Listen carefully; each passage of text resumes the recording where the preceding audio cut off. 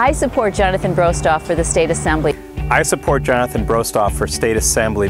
I support Jonathan Brostoff. I support Jonathan Brostoff. I support Jonathan Brostoff for Assembly. We support Jonathan Brostoff for State Assembly. Because we need someone who supports green jobs for economic development in Milwaukee.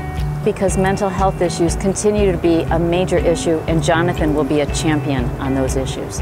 Because I know firsthand that we need to end the failed voucher experiment and support public education because I think our community needs a leader with progressive values, a proven track record of service in our community, and someone who can really represent the things we care about in Madison.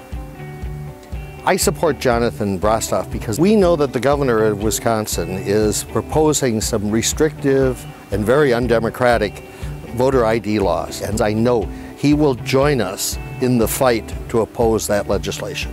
He's a UWM grad. UWM is a really important piece of the district.